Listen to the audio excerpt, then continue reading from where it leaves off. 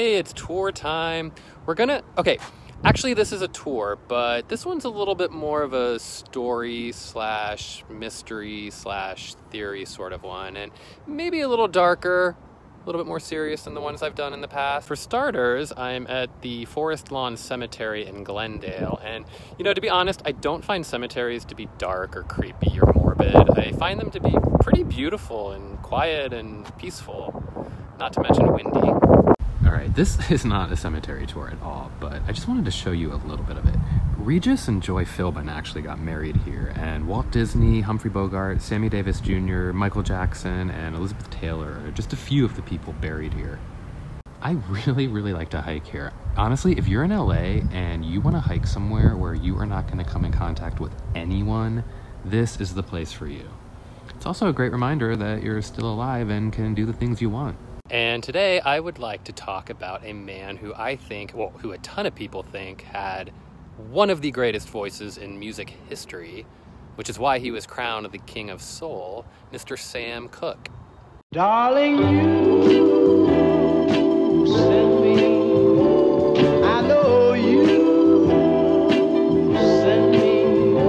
Sam was born in 1931 in Mississippi, and his family moved to Chicago two years later. And by the age of six, he had already started singing. This is pretty ironic. He, even though they were 10 years apart, he went to the same high school as Nat King Cole, who is also buried here. He started his career as a gospel singer in a group called the Soul Stirrers, and women went crazy, as did, I'm sure, some closeted church boys. He got so popular that the next logical step was breaking into pop music. I mean, his crossover was beyond successful. From 1957 to 1964, he had 30 top 40 hits and three more after he died. When he was shot and killed on December 11th, 1964, he was only 33 years old and truly at the peak of his career, especially on the business side of things, which was unprecedented for a pop star at that time. This tour is actually going to center around the night of Sam's death because I feel like the narrative from which his story is usually told isn't accurate and I feel like it's diminished his legacy.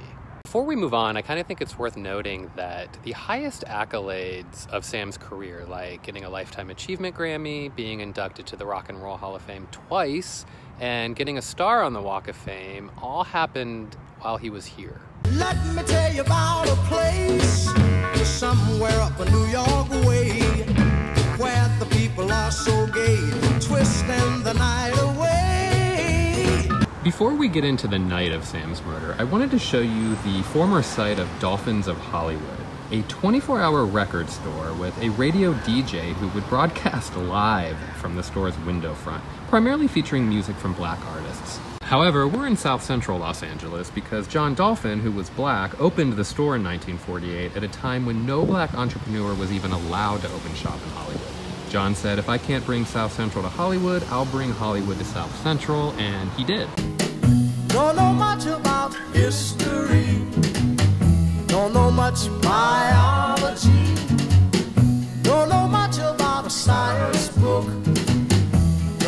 Much about the French I took. Dolphin also ran a recording studio and a label from the back of the store, and after repeatedly playing Sam Cooke's first single one day, Sam came down to the store and the two became friends. He taught Sam all about publishing rights and told him that's how he could make money and keep control of his music. Sadly, John Dolphin was murdered by a disgruntled musician in 1958, and the store closed shortly after. It's now obviously a restaurant, and in 2016, the intersection was officially named Dolphins of Hollywood Square. Wanting to be more than a performer, businessman Sam started his own label, which was really unheard of for a musician back then. And keep in mind, this was before Berry Gordy and Motown.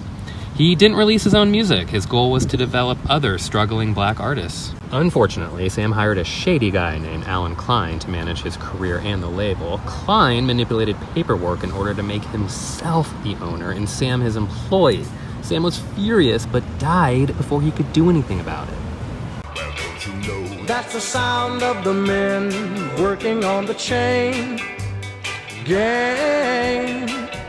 That's the sound of the men working on the chain gang. Once Sam began to make a name for himself and began earning a lot of money in the music world, he bought this house right here in Los Feliz, just a couple miles east of his label in Hollywood. And he lived here with his wife Barbara and their three children. Cupid,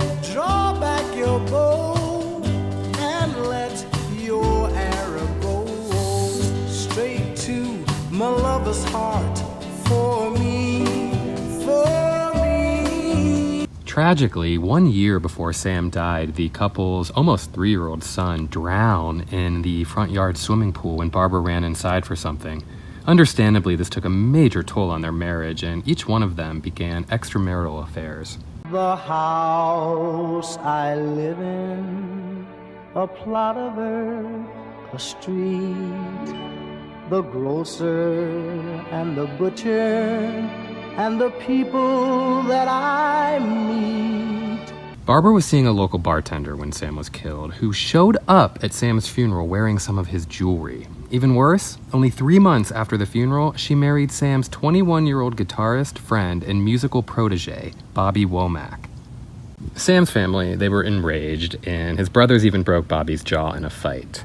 Look, Sam was no saint when it came to monogamy, and I mean, look, I can't even imagine losing a child, or what a terrible year that had to be for the couple. He did manage to write the most powerful song of his career. He died the year it came out and didn't get to see it turn into the civil rights anthem that it's become, a song that I heard countless times this year at various Black Lives Matter marches. I was born by in a little tent. Oh, and just like the river, I've been running ever since. It's been a long, a long time coming, but I know a change gonna come. Oh, yes, it will. It's been too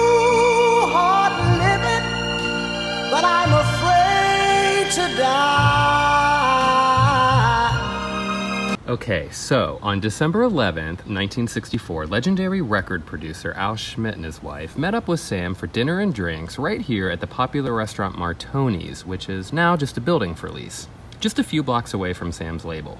We're having a party,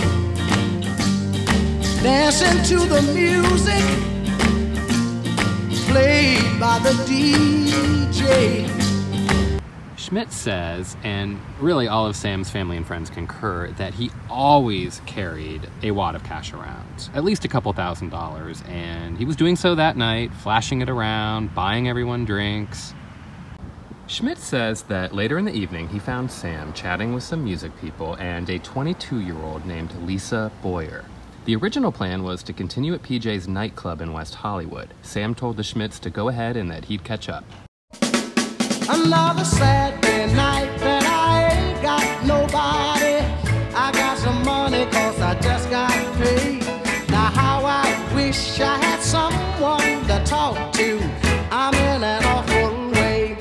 Eventually made it across town to PJ's, which used to be right here, but he wasn't alone. New friend Lisa Boyer was with him, but it was late, the Schmitts were over it, they went home, but Sam and Lisa stayed, drank, danced, and rumor has it that Sam even performed for the club.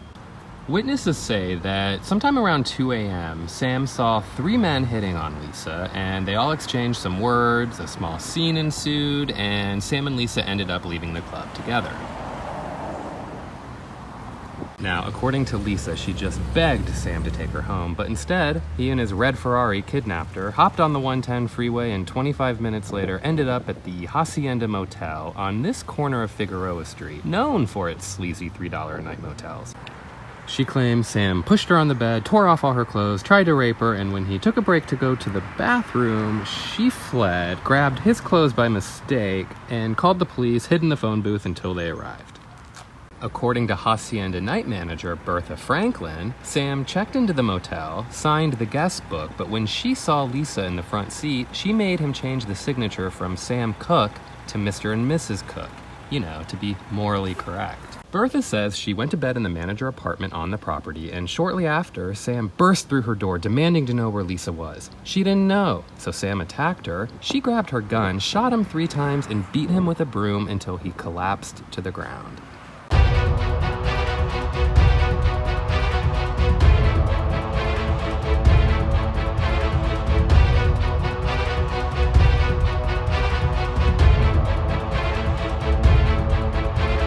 Five days later, just days, Lisa and Bertha told the court their stories, and Sam's lawyer wasn't allowed to question them. His death was immediately ruled a justifiable homicide. Case closed, end of story, have a good day, that'll do. And he dragged me into that room.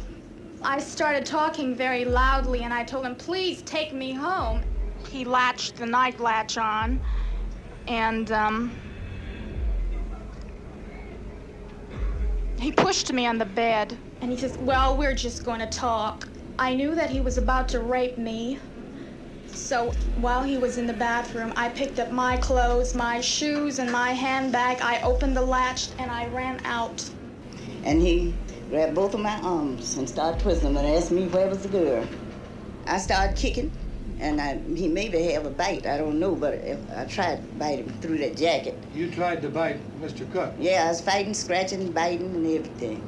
Finally, I got up and grabbed a pistol. I started shooting.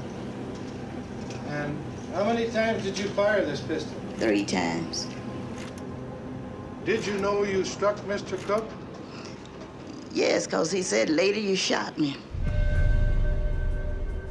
Sam's body was flown to Chicago for a massive multi day service and then flown back to LA for one at this church, which is now a school. Sam's childhood Chicago pal Lou Rawls and Ray Charles both sang at the funeral. Sam's body was on display for everyone to see, and Muhammad Ali and Etta James were very vocal about what they saw and claimed there's no way Bertha Franklin could have done what was done to him. May forget me, you're still on my mind. Look over your shoulder, I'm walking behind. Exactly one month after Sam was murdered, Lisa Boyer was arrested for prostitution. She knew Figueroa Street very well. Guess who else had a criminal record? Bertha Franklin, for being a pimp and a madam.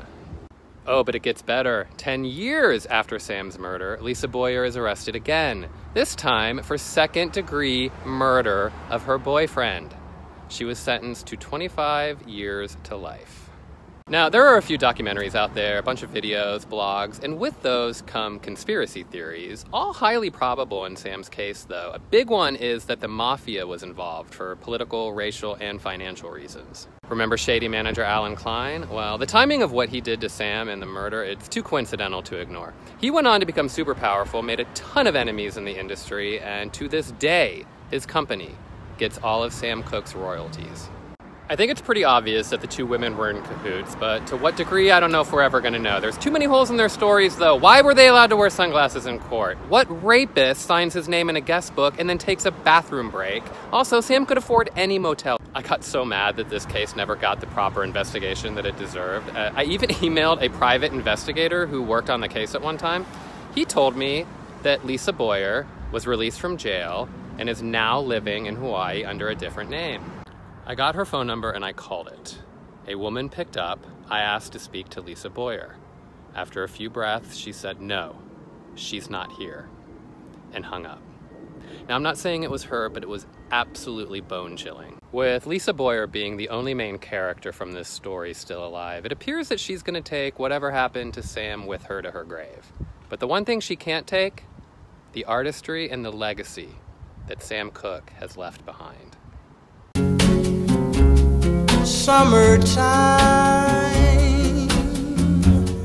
And the living is easy.